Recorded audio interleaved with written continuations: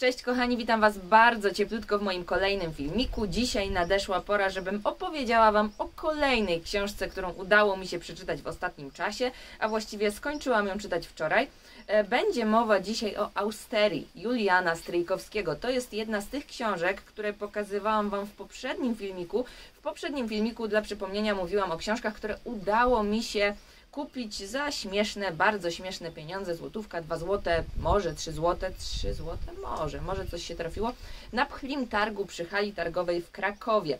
Dlaczego wtedy właśnie tam zainteresowała mnie ta austeria? No bo książeczka jest malutka, niepozorna, łatwo ją przeoczyć. No, jak to zwykle bywa, przyciągnęła mnie do niej z jednej strony okładka, bo spodobała mi się tutaj ta grafika z przodu na okładce, a z drugiej strony nazwisko autora, no bo do tej pory o Julianie Stryj, Stryjkowskim tylko słyszałam, gdzieś tam o nim czytałam przy okazji czytania różnego rodzaju opracowań, no a tutaj w końcu miałam szansę na to, żeby zapoznać się z jedną z napisanych przez niego opowieści. Ostatecznie o tym, że ja tę austerię kupiłam, zdecydował jednak opis y, z tyłu tej książki, dlatego że mm, no, bardzo rozbudził moją ciekawość i stwierdziłam, że to może być naprawdę taka ciekawa mm, historia. To pełen dramatyzmu obraz przeżyć ludności żydowskiej małego miasteczka galicyjskiego w ciągu jednego dnia I wojny światowej, w którym autor dostrzegł zapowiedź zagłady, jaką hitleryzm zgotował Austerią w latach II wojny światowej. Może nie tylko Austerią w latach II wojny światowej, ile w ogóle pewnemu staremu porządkowi, bo jednak każda wojna mm, wprowadza jakiś zamęt, zachwianie ustalonego dotąd zdawałoby się takiego właśnie niezachwianego porządku. Także oto powód, dla którego Austerię przeczytałam, a jak tam mijała mi lektura tej książki. Przede wszystkim zdawać by się mogło, że książka jest niewielka, więc że przeczytać można ją bardzo, bardzo szybko. Otóż nic bardziej mylnego. Dlatego, że to jest historia wyjątkowo niespieszna, historia posiadająca taki swój mm, urok, i właśnie ten urok w pełni objawia się dopiero wtedy, e, gdy zaczniecie czytać tę austerię dość wolno, zastanawiając się nad poszczególnymi jej e, fragmentami. Zresztą nie ma tutaj żadnego podziału na rozdziały, więc y, sami decydujecie o tym, w którym momencie przestajecie czytać, kiedy dla Was wypada ten moment, w którym chcecie się trochę pozastanawiać, odłożyć lekturę gdzieś na bok i wrócić do niej dopiero później. Tak jak wynika z opisu do tej książki, przenosimy się w okolice jednego z galicyjskich miasteczek, początek I wojny światowej trafiamy do tytułowej austerii. Tytułowej austerii, czyli na nasze przekładając, no takiej przydrożnej karczmy prowadzonej właśnie przez starego Taga.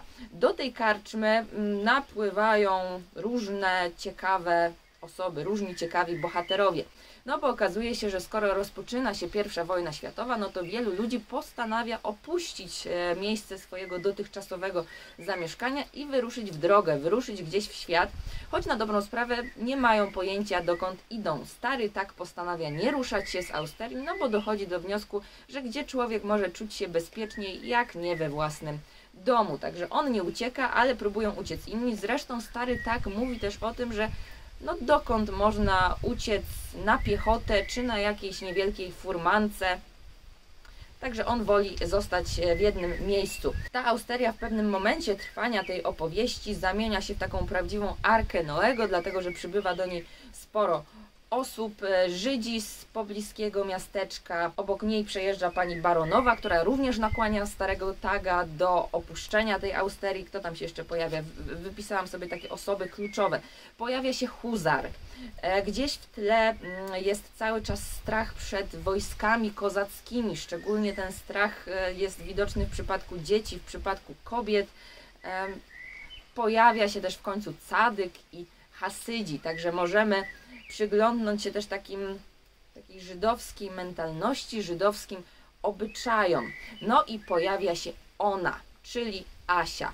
Pierwsza, no może nie pierwsza, ale w tej, w tej opowieści pierwsza ofiara mm, tej nadchodzącej wojny, tego zmieniającego się ładu. O śmierci Asi mogę Wam tutaj e, wspomnieć, dlatego że dowiadujemy się o niej już przy początku tej opowieści, no i okazuje się, że mm, ona jest zapowiedzią zmiany właśnie tego mm, zastanego do tej pory porządku. Dlatego, że Asia trafia do tej austerii, no i zwykle według e, obrządku żydowskiego e, ktoś musi przez całą noc przy niej czuwać, powinna zostać dla niej uszyta śmiertelna koszula i tak dalej, i tak dalej, a tymczasem okazuje się, że w obecnych warunkach na to wszystko nie ma czasu z jednej strony, z drugiej nikt nie chce się tym zająć, po prostu nie chce, bo każdy myśli bardziej o sobie, każdy jest zorientowany na to, żeby przeżyć. Czyli okazuje się, że w takiej sytuacji podbramkowej człowiek e, jest w stanie przewartościować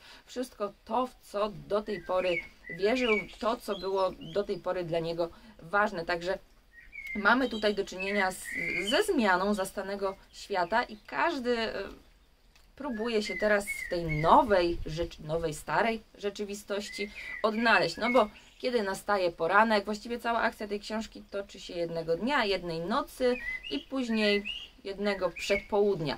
Więc kiedy nastaje ten nowy dzień, świat niby jest inny, a taki sam, bo chłopi z pobliskiej wsi znowu wyprowadzają na pola krowy, bydło, ale jednak e, coś się zmieniło i każdy z tych bohaterów czuje to w kościach, czuje, że coś się zmieniło. Tak jak powiedziałam wcześniej, w tej austerii dobrze widać e, taką żydowską obyczajowość i możemy właśnie spojrzeć na mm, te zmiany wojenne z perspektywy Żydów z takiego małego galicyjskiego miasteczka. To jest historia niespieszna, y, historia, która mam wrażenie, że zostanie ze mną jeszcze na długo i historia, która została też zekranizowana.